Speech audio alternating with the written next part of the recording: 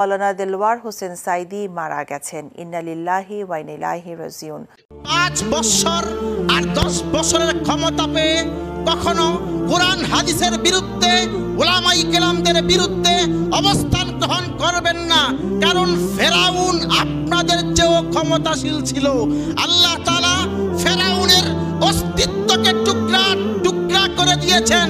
ঠিক তেমনি ভাবে পাঁচ বছর দশ বছর, পনেরো, বিশ বছরের ক্ষমতা পেয়ে যদি কোরআন, হাদিসের বিরুদ্ধে অবস্থান গ্রহণ করেন, ওলামাই কেলামদের বিরুদ্ধে অবস্থান গ্রহণ করেন গুম খুন, হত্যা করেন, তাহলে আল্লাহ ফেরাউনকে যেমন ভাবে ধ্বংস করে দিয়েছে, ঠিক তেমনি ভাবে আপনাদের অস্তিত্বকে আল্লাহ টুকরা টুকরা করে দিবেন।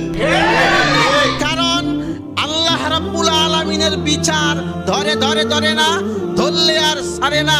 এইটা তো ভাই, দুনিয়ার বিচার ক্ষমতা চিরস্থায়ী নয়, কেয়ামতের ময়দানে। গদি ঠিকিয়ে রাখার জন্য মানুষ হত্যা করেছেন।